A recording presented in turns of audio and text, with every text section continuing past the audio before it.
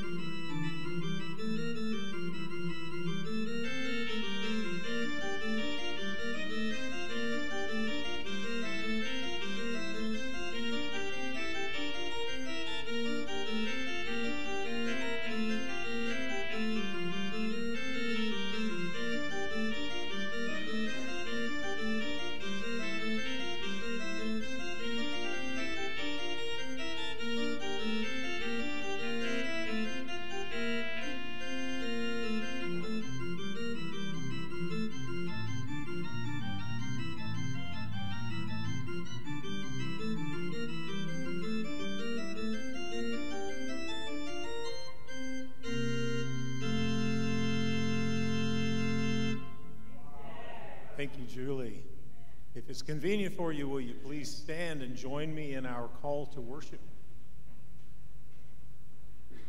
Come and worship, all you who love and serve the Lord.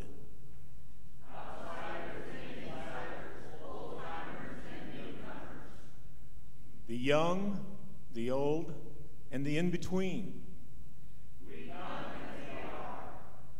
For this is God's house a house of prayer for all people. And God welcomes each one who comes. Amen.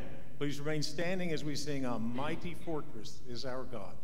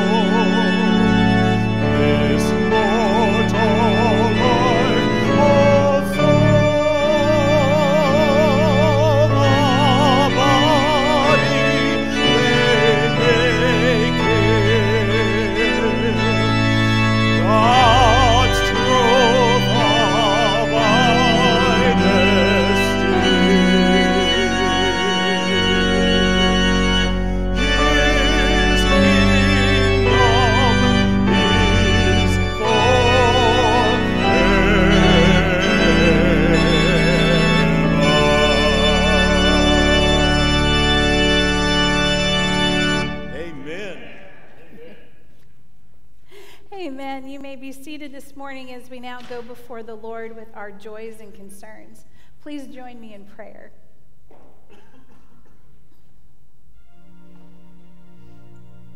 Father God, we are so thankful for the opportunity to come together and worship you here in this place and also online. We ask for your Holy Spirit to be poured out in abundance wherever we are. Wherever we're at, whatever we're doing, whatever state we're in, we are so thankful that you do allow us to come as we are. Because, Lord, we know that as much as the world is a mess, that reflects who we are sometimes inside.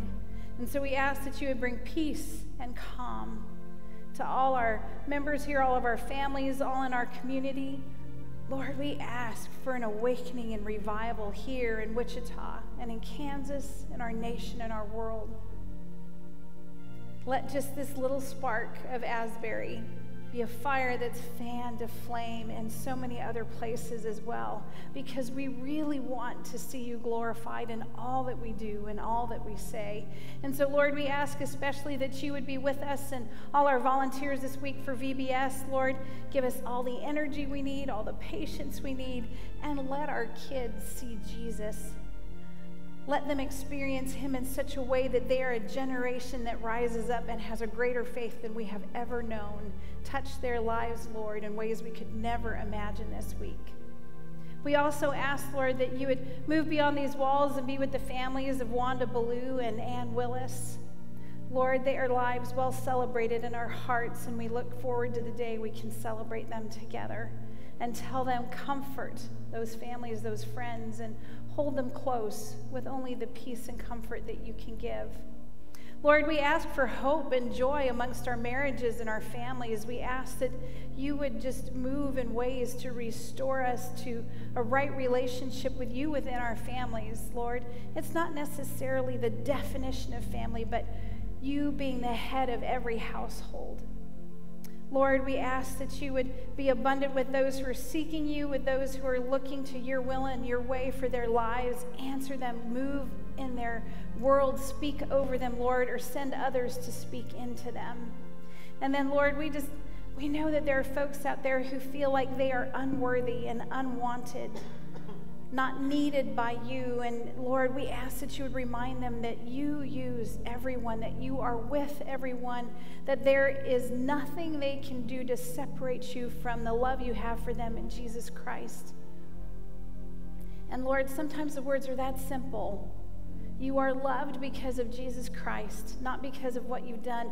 And help us to speak those words and to witness to the way you have spoken that over us to someone else this week. Just keep it simple, Lord, but use us. Speak volumes over them with as little as we have to say. Because, Lord, you're so hard to describe. You're so hard. It's so hard to come before you, Lord, and give you all the praise and all the glory that you deserve. But, Lord, we do that today together from the bottom of our hearts, and we pray together the prayer that you taught us. Our Father who art in heaven, hallowed be thy name. Thy kingdom come and thy will be done on earth as it is in heaven. Give us this day our daily bread and forgive us our trespasses as we forgive those who trespass against us. And lead us not into temptation, but deliver us from evil. For thine is the kingdom and the power and the glory forever and ever. Amen. Amen. Once again, if it's convenient for you, will you please stand as we sing, I Know Whom I Have Believed?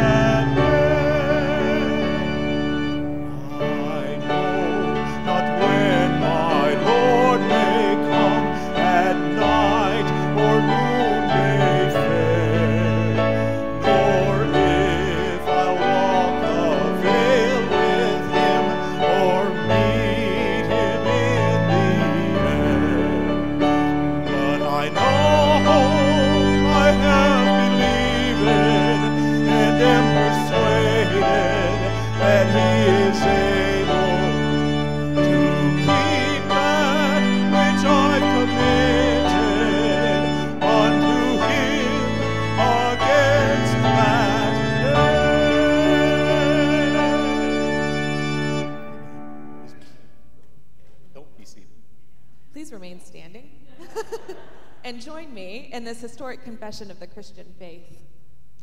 I believe in God the Father Almighty, maker of heaven and earth, and in Jesus Christ, his only Son, our Lord, who was conceived by the Holy Spirit, born of the Virgin Mary, suffered under Pontius Pilate, was crucified, dead, and buried.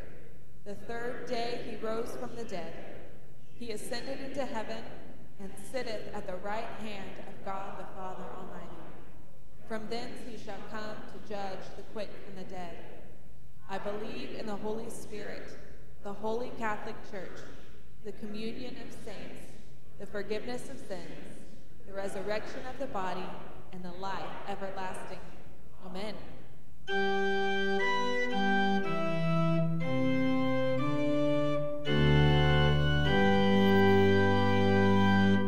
Glory be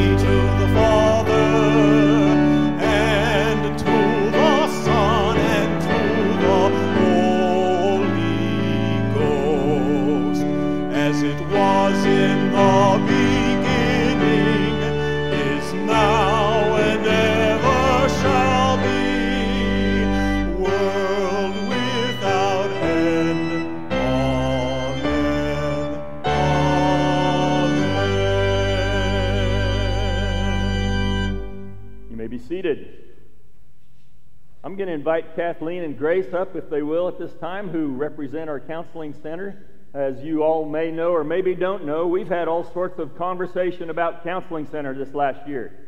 Thought we were going this way, and then we thought we were going this way, and we go this way, and here we are this way. And so it's just the way God works. And she forgot the microphone. Thank you, Dick, for bringing that up. But um, Anyways, we're, we're really grateful to have Kathleen with us and Grace as our intern, and they're going to share just a few words. So if you want to do it down there, that's fine. Or if you want to come up here in front of the mountains, that's fine too. That's good. Perfect. we're nervous. Hi, I'm Kathleen Ramirez. I'm a licensed clinical marriage and family therapist. Okay, sorry. um, my name is Kathleen Ramirez. I'm a licensed clinical marriage and family therapist. I'm a graduate of Friends University. I'm talking too fast. Um, so I was here during the time that Wes was here. I'm just like quieter and kind of over in the corner. but um, after he left, the decision was made to restructure the counseling center. So that was really important because we didn't want it to close. So it's now um, restructured to be more of a nonprofit so that people can come without worrying about what they have to pay, whether they have insurance. Um, usually a flat rate is applied to them, but if they can't, don't have the ability to pay, they can come and talk to me about that. So this is Grace Alspa. Hello, everyone. Um, I am a student therapist in the Marriage and Family Therapy program at Friends University, so I'm working towards my license so that I can see clients whenever, wherever.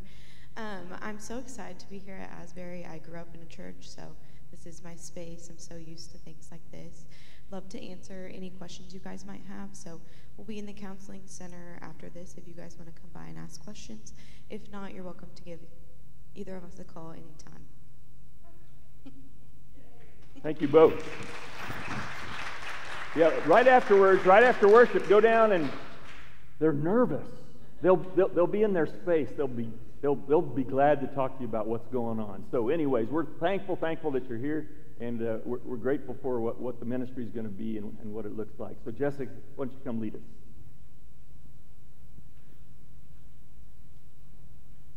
We wouldn't be able to do um, have the counseling center. We wouldn't be able to do VBS. We wouldn't be able to do our Bible studies. We wouldn't be able to do any of these things if it weren't for you um, and your faithful giving to the church. So I want to say thank you for that. Um, if you would like to give today, we've got our offering plates at the back. You can do so through our um, realm. You can do online. You can do come by and drop a check off um, in the office. All of those ways to give to support the missions um, of Asbury Church. Will you please pray with me? God, we are so grateful for you and for your provision. Um, God, I just pray, Lord, that you would just bless um, today, that you would bless our tithes and our offerings that you would just multiply them, that you would use them to further your kingdom, that you would use them in a, um, and a way to point people to you um, so that when Asbury is doing our work, they don't see us, but instead they see you.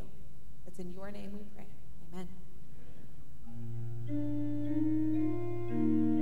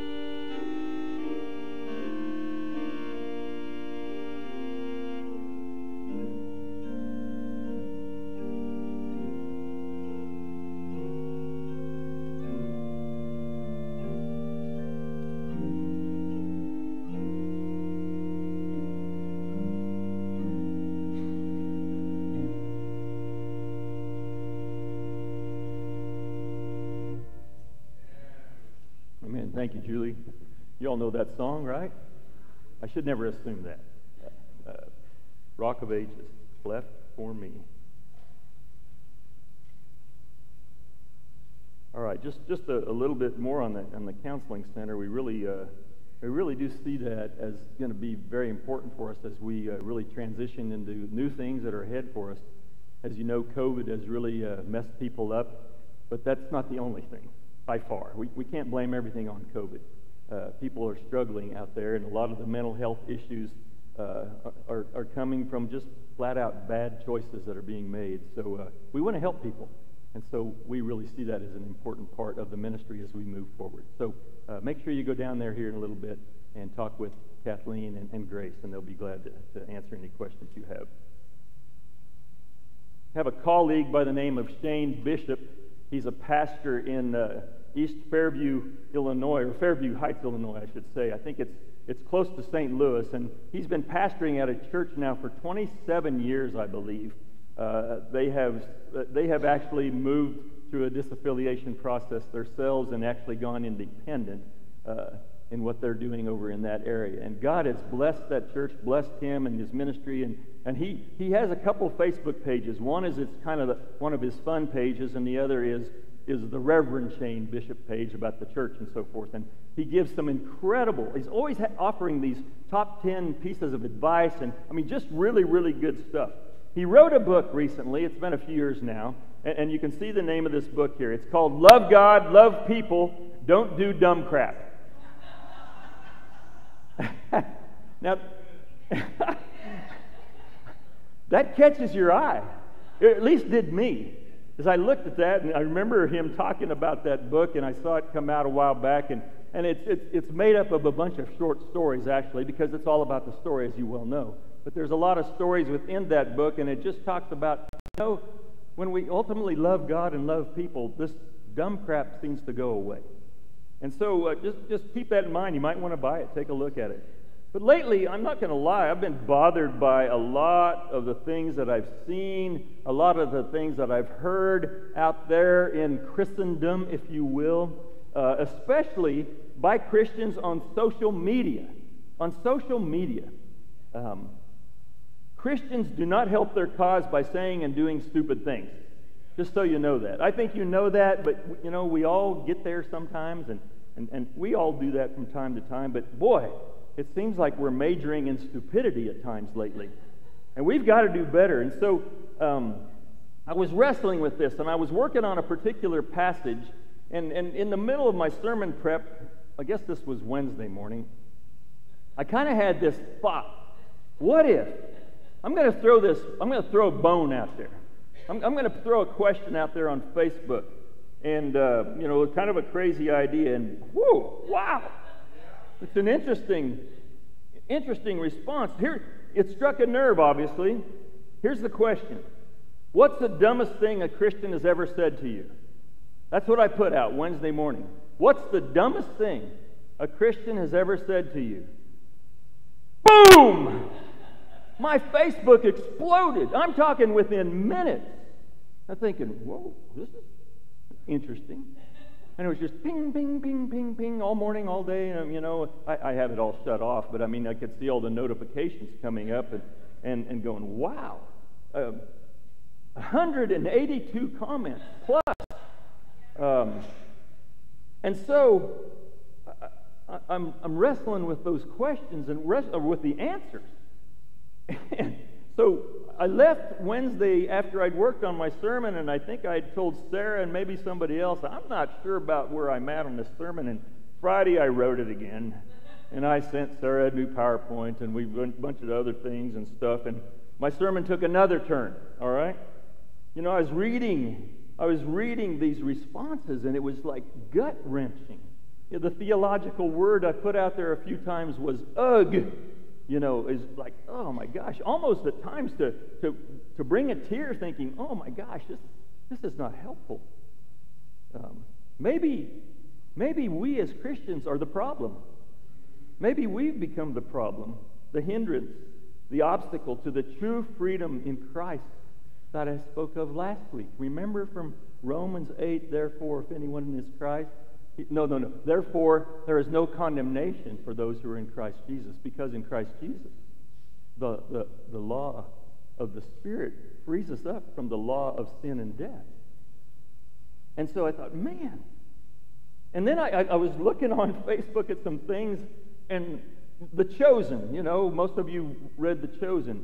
And it's always interesting to see people's responses, especially Christians' responses to The Chosen. And so this one guy or gal, I can't remember, uh, responded to something the Chosen had on Facebook, and it said this You might think you guys are funny, and your sarcasm proves my point. You guys have an ecumenical Jesus and not the Jesus of the Bible. Well, okay, that's interesting. God never told you to do this show. I'll keep exposing and you, I'll keep exposing you and, and you all just keep posting your material. Okay. Well, bless your heart. well, and, uh, but you see this, it's, it's interesting. Christian after Christian are typing this kind of stuff about a show who's trying to invite people into a relationship with Jesus. They're not, they're not heretical. They're taking a little liberty here and there, but they're not changing the message and it just, it, it ah. So the passage I was going to preach changed to this passage. So here's what I'm going to read from James 3, 3, uh, yeah, 3 through 12, okay? James 3, 3 through 12. When we put bits into, uh, into the mouths of horses to make them obey us, we can turn the whole animal. Or take ships as an example. Although they are so large and are driven by strong winds, they are steered by a very small rudder wherever the pilot wants to go. Likewise, the tongue is a small part of the body, but it makes great boasts. Consider what a great forest is set on fire by a small spark. The tongue also is a fire, a world of evil among the parts of the body. It corrupts the whole body, sets the whole course of one's life on fire, and is itself set on fire by hell. Whew. All kinds of animals, birds, reptiles, and sea creatures are being tamed and have been tamed by mankind, but no human being can tame the tongue. It is a restless evil full of deadly poison. Are, you, I think you're hearing what he's saying, huh?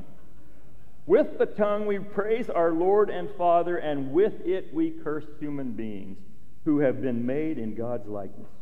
Listen to this. Out of the same mouth come praise and cursing. My brothers and sisters, this should not be. Can both fresh water and salt water flow from the same spring? My brothers and sisters, can a fig tree bear olives or a grapevine bear figs? Neither can a salt spring produce fresh water. Whoa. I'm tired just reading that thing. Mercy, there's some stuff there.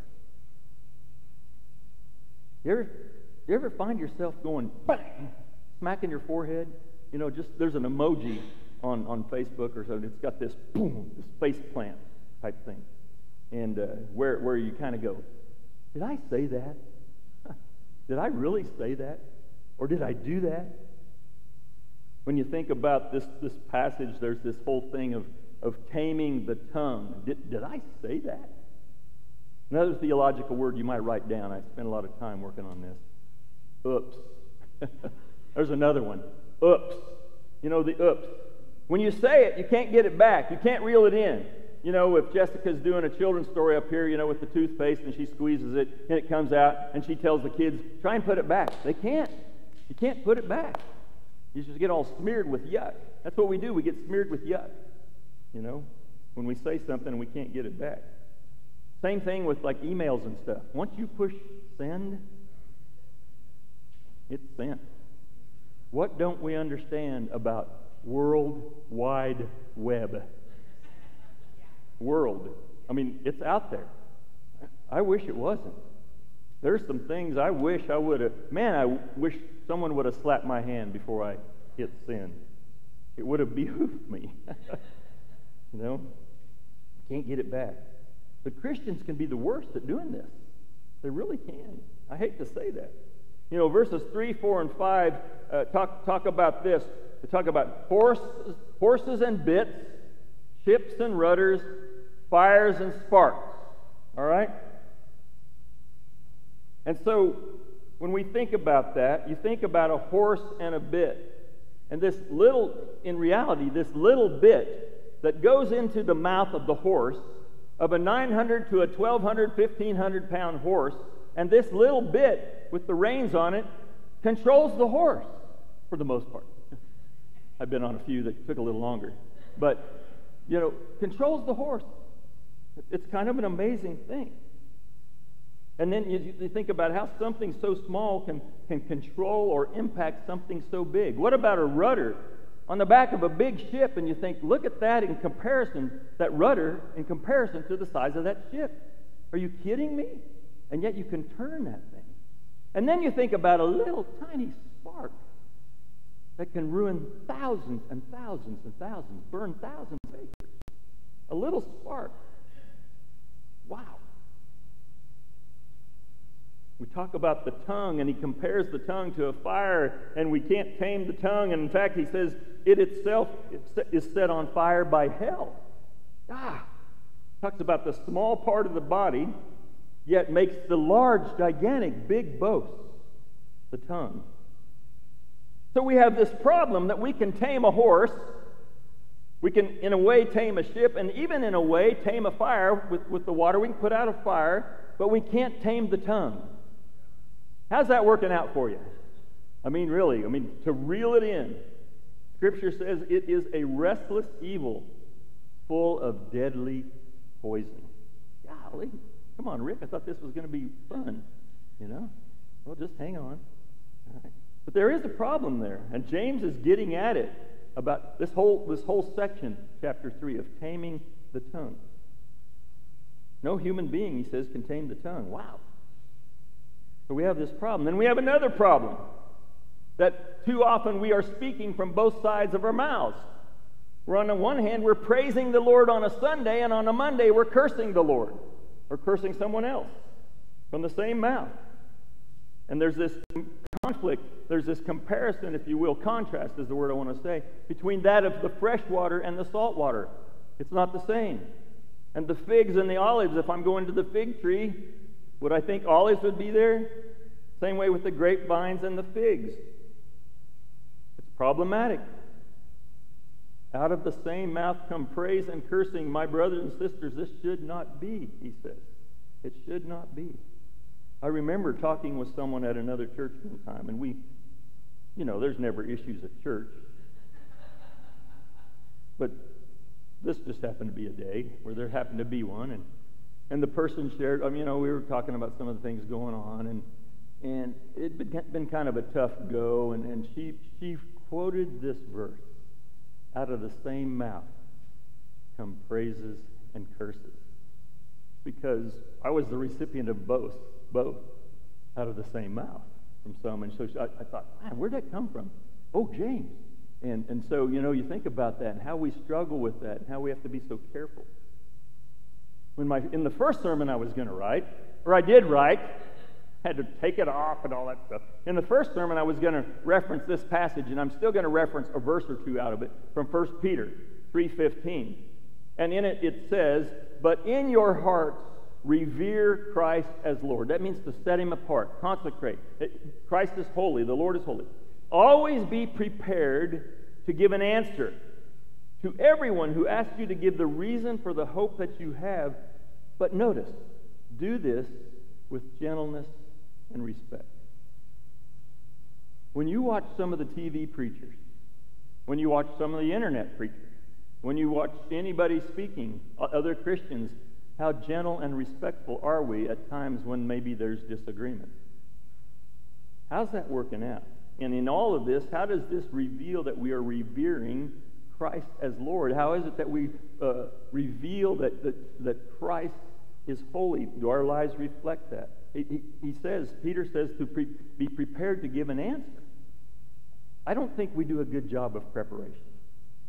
We need to do a better job of preparation for those times then when something happens or someone ticks us off or whatever the case is, or we get into some conflict or arguments that we don't get caught up in the stuff.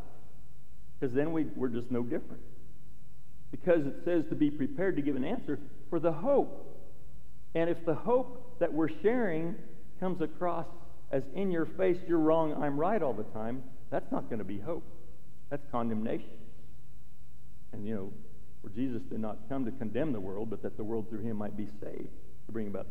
So the hope that we have to be prepared to give that answer, to do so with gentleness and respect. It doesn't mean be a doormat. It doesn't say be a wimp. But we have to be careful. In other words, here's, the, here's where we're at today. Don't be a jerk. All right? I can't help it, but just what we got to call it. Don't be a jerk. Christians are jerks many times. It, it's awful. We don't do ourselves favors many times. And if there's one thing I've learned in working through all the denominational stuff in the past few years, and in being a pastor for the 30 plus years or whatever it is, as well as being in relationship with those who are unchurched, it's this don't be a jerk. I believe, I mean, it's one of the reasons we were able to work through some of the stuff with the annual conference this year uh, in, in a larger context. To not be a jerk. And it's easy to tell that so many of us Christians are ill, ill prepared to answer in a way that reflects that we revere Christ as Lord. We do and say the dumbest things that are more hurtful than helpful. You know, the Scripture uh, warns us about regard uh, about the tongue. There's all sorts of warnings in Scripture, and and to put it like this, it, it would be like this: the tongue. Be careful. Be careful what you say. Now, there, there's some verses here. I'm not going. I'm going to read them, but they're not on, on the screen there for you. But um, let me read them for you real quickly. Just a few verses, because it's throughout Scripture. It's all throughout Scripture about the tongue and what we say. Colossians 4 6. Let your conversation be always full of grace, seasoned with salt. That means with taste, so that you may know how to answer everyone. Proverbs 15:4 says, "The soothing tongue is a tree of life, but a perverse tongue crushes the spirit." People's spirits are already crushed. Why should we crush them more? Proverbs 15:28 says the heart of the righteous weighs its answers, but the mouth of the wicked gushes evil. So if we would say things that are problematic, would that not say we might be evil because it's gushing from our mouth? Proverbs 21:23 says those who guard their mouths and their tongues keep themselves from calamity. Calamity means damage or distress or disaster. Let's avoid disaster. Ephesians 4 29. Do not let any unwholesome talk come out of your mouths, but only what is helpful for building others up. It's called edification, for building others up, according to their needs, that it may benefit those who listen. So So then I think about all this and I go back to the Facebook question. Here's the question again What's the dumbest thing a Christian has ever said to you? I had one person had one person who gave me a chuckle, and the rest of them made me weep almost. But one person, I, I have a friend in West Texas. His name is Rich Jones, and he's, a, he's in Lubbock, and uh, he's a pastor there. And he and I have done a lot of ministry together since about 2012. And here's his question Are you enjoying General Conference? That's about the only laugh I got out of the whole thing. All right? So uh, I know Rich isn't watching because he's also pastoring or preaching this morning too. But I, I, uh, I look at these, I look at these responses, and they're they're painful and they're heartbreaking and they're a cause for anger. So I've got them on my phone here if I can figure out how to open it up and so forth and, and get to them. But uh, golly, let me, I, I want to read a few of these, and, and several of these actually. All right. Now, some of you who are watching told me you're going to be watching today because you don't normally watch or you're not a part of Asbury, but you responded and then you heard I was going to preach this. And so uh, my, my Facebook had questions like, Are you going to preach this? Uh, I'll be tuning in and, and various things. So, uh, howdy. Um, so, just a few of these. And these are, most of these, almost all these people I know. One through various churches or places I've been, there's a few people who answered that I didn't know who I, I sent it publicly, but if it doesn't share publicly, not everybody reads it publicly. But one person said, I also, I was once told by a pastor that the abuse in a marriage is something that wives or husbands must endure. Because that's the way God uses us in discipline with one another. Now, friends, not helpful. I mean, if, if, if there's abuse going on, that is not of God. And, and for me as a pastor to tell you that it's okay and you must endure it, uh, shame on me. Shame on me. She has more to say, but I'll, I'll just leave that one there. Here's one. Ugh. When my sister finally got the courage to go to someone at her church years ago about her boyfriend being physically abusive, the response from the person infuriated me. They said, You must have sinned and earned it. She left God because of it for a while in church. It still makes me sick today. Now, folks, uh, you don't know how many, there's a lot of, of responses here that say, Well, you must have deserved it. You must have sinned in the past. And because of the sin in your past, in your own past, or even your ancestors' past, now, there's some things that do happen, but not this. And for this pastor, shame, shame on this pastor, um, or whoever this person was. Maybe it wasn't a pastor. But you must have sinned and earned it. Um, why would we think someone would want to come to the church if those are the words that are being shared? Okay? Um, here's one. You can't go to heaven with all those tattoos and a hair and that haircut. Jeff Stubbs. He's in what? He's in Wisconsin, uh, but we knew him as a kid in Chicago, and uh, he, he's tatted up. I'm going to tell you, but he loves Jesus. His daddy died in a motorcycle wreck. I was part of the service we did for him when I, after we'd moved back and went back, and uh, I mean the ministry that that family's done has been amazing. But uh, we go and we pull out a passage in the Old Testament that says something about tattoos, and we don't look at the culture, we don't look at the context, and we don't understand why it said what it said, and then we apply it in 2022 right now to someone who's got a tattoo. And so uh, that's problematic. A little farther down on this same page, um, there's no point in you praying, this, this lady was told. Because of your sin, God won't hear you. This was from the pastor, and I stopped praying for a long, long time. Yeah. There's no point in you praying because of your sin. It seems to me because of our sin, we better be praying. That's the stupidest thing I ever said. That's dumb crap. Yeah. It's stupid. I mean, how is that helpful to people? You on the other side? You all right? Uh, set a little context here. This gal's parents were killed in a, in a car accident seven years ago. Uh, the gal's mom was a pastor of the church where she was attending, and, and she, uh, she also does some uh, certified lay ministry and so forth. Seven years ago, when my parents died in a car accident, someone congratulated me on my promotion to succeed my mom as the pastor of whatever church that they were at. How's that working out? Congratulations on your promotion. Meanwhile, both your parents are dead. And she's still struggling to the day. She's still dealing with counseling and so forth. I mean, um, I met her years ago. I can't even, uh, in Texas, I think. And, and uh, anyways, golly. Um, you all right here? Can I share a few more? Um, a family member told the 10 year old boy whose mother was killed by a drunk driver that God needed her more than he did. Don't say that. Don't ever say that.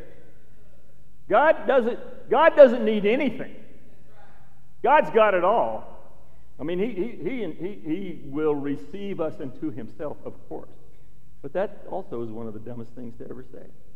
That God needs the child or, or needs the person more than you do. So that 10 year old now is going around thinking God's just yanking everybody, letting everybody get killed because he needs them more than I do, than we do.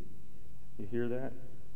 And so now I don't know, you know, how old this kid is now, but you don't think that affected this boy? Um, a priest said to this one guy, You are going to hell. You were created out of lust. Your father committed adultery. There is no salvation for you ever. I'm telling you, folks. Messy. Messy. I mean, he's a pastor now, thankfully. I mean, this guy. I mean, he, he, he didn't listen to him, thankfully, but wow, that's pretty tough. Um, here's a person I know fairly well. Um, and this person said, Well, this was said behind my back, but I was certainly meant to hear it. Why is she coming to our church? She's nothing but a drunk and a loudmouth. I, I hate it. I know you're watching. You're welcome here. Long drive, but you're welcome. I just want you to. Okay, so we have some drunks and loudmouths. When have you not been a drunk, to be honest with you, at some point, or a loudmouth? Or oops, somewhere else in your life? Would you not be welcome in the church? And should the church not be the place where the doors are open to be receiving people who are dealing with the stuff that causes them to drink anyways? Just a thought. We had a miscarriage, and someone that told us it's good it happened early in the pregnancy. Eight weeks. No, it's not good. Miscarriages are never good anytime. There's a whole lot more to this story. I'm not going to read it all, but man, it was not, not helpful at all. Not helpful at all. And, and they're still dealing with it. um, if you had prayed more, you wouldn't be suffering from depression. Ask King David that. Go read the Psalms. See how that's working out. Um, there's, there's all sorts of issues that, you know, that's where Kathleen needs to step in and, and others who, who, who deal with that more than I do. But because I'm not, I'm not a counselor in that sense, especially when you get into clinical depression. I'd rather you break your arm and I take you to the hospital and we put a cast on, and therefore we have something in some way to help you get better. But depression is one of those things that, you know, my brother at one time went through terrible, terrible depression. It was, the, it, it was so bad for him to go to the refrigerator and get a glass of orange juice It was a victory. That makes no sense to me. It, but I, you know, I wasn't going to go say, "What's the matter with you?" You know, he's doing well now. Thank you very much. But man, one more. All right. Dumbest thing ever said to me. Uh, where she had just lost her 16 year old daughter And they said, Well, you still have your other daughter. That's somebody from our church, even. Um, man. So, you think about those things, and you think, folks, golly. It's no wonder that James said this. This should not be. This should not be. it should not be. We can do better. We must do better. We must do better. And when I say we, a collective we, across the whole church, capital C, you know, when we say in the Apostles' Creed, the, the Holy Catholic Church, that means the church universal. The church needs to do a better job. Because why would anyone ever want to be a part of the church when the church is saying these things? Why? Reminder don't be a jerk. don't be a jerk. We have to be careful. That means despicably obnoxious. yeah, that's what it means. Don't be a despicable, obnoxious, detestable person. People will run from you like the plague. Let's be those where people would respond to the words that we have. Or better yet, the ministry of presence that we have. I was texting someone a couple nights ago who's going through a tough time and, and is dealing with a, a family member who is, uh, who is, who's uh, on her last days, in her last days. She was really struggling and, and just, I mean, I could tell in just the, the text itself. And said, I just don't even know how to pray anymore. I just don't, I'm, I'm just, uh, just feeling sick. I can't eat. Don't know, don't know how to pray. Don't know what to pray and whatever. I said, look, here, you just be there like you are. You just be present, just like you are. That's it. You be there. We will take the load off of you. We will pray on your behalf. We will take that and we will pray for you. So you don't even have to worry about praying and thinking about the right thing to pray. We'll just pray for you. And you should have seen the emojis of tears that came back. Ministry of presence matters, just to be present with someone, and it's better off most of the time not to say anything. We got to be careful. So, wouldn't it be great if others spoke of the good ways that we at Asbury speak, of the good behavior uh, that they observe of us who call ourselves Christian? Wouldn't that be what we want? I believe that's what we want. I believe that's what God wants. And I believe that's what people need to hear that they matter. You know, that, that, that we're, we're people who love God and, and love others, and we're trying not to do dumb crap. You know, we're trying not to be jerks. That the way we talk and speak would, would cause others to take notice. So maybe they, they would say, hey, there's, there's something different about those Asburyans. I want what they have. I want what they have. So, folks, let's not be jerks. You on the other side of the screen, you here, let, let's not be jerks. Jerks don't lead people to Jesus, they turn them away. So let's not be jerks. All right? Let's say and do the right things because of the one who receives us as we are to be who he wants us to be. Let's pray. God, we come before you. And we thank you for your word. And, and this stuff is just, it's troublesome because uh, we as the church claim to have our act together so often, and yet, wow, we don't. So, God, forgive us when we're jerks. Forgive us. Help us by your Holy Spirit uh, to be transformed. Change us. Change our hearts, O oh God, that we would represent you well and represent you well in all we say and do. That is our prayer. In Jesus' name, amen. I'd like you to stand as Russell comes to lead us in this last song, Take My Life and Let It Be.